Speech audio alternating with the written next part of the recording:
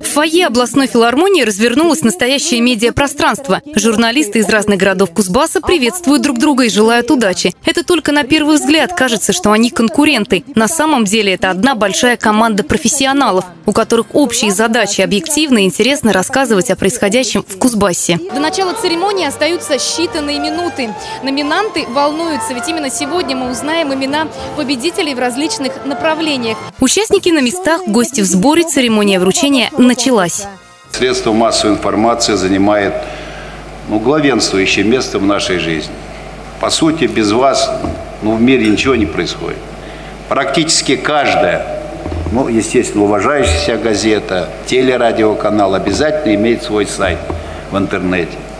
Не успел посмотреть по ТВ, пожалуйста, заходи во всемирную сеть. То есть журналистика становится суперуниверсальной. Сегодня, когда губернатор зачитывал доклад, он сказал, что через 10 лет включат телевизор, и его не будет, будет только интернет. И особенно приятно, что мы стали лучшим сайтом телекомпании. Что значит? Значит, мы смотрим сейчас, что у нас есть, и смотрим в будущее.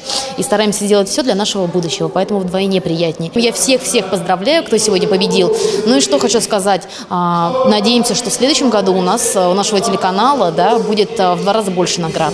Ксения Еременко всего год на канале и уже такая престижная премия. Победа в номинации «Старт в профессию» – это только начало. Впереди другие вершины. Эмоции сейчас переполняют, потому что это одна из первых наград, и такая значимая, действительно первая награда в моей творческой и профессиональной деятельности.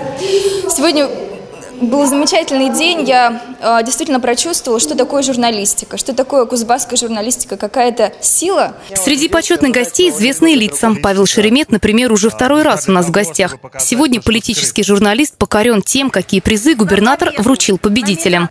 В этом году все очень серьезно, пафосно, такое оформление, настоящий праздник и серьезные подарки. Честно говоря, в некоторых ситуациях, в некоторых номинациях я прям завидовал своим кемеровским коллегам и думал, да, надо бы, бы и мне тоже поучаствовать в этом конкурсе. В отличие от своего коллеги, Светлана Сорокина в Кузбассе впервые. У нее за плечами огромный опыт. Многие по-прежнему Сорокину называют королевой телеэфира, однако Светлана давно уже не появляется ни на центральных, ни на региональных каналах, утверждая, что сама ушла с ТВ. Теперь ей гораздо интереснее учить мастерству телевидения начинающих журналистов. Она с удовольствием приняла участие в медиапрестиже. Я вот с самолета, с корабля на бал.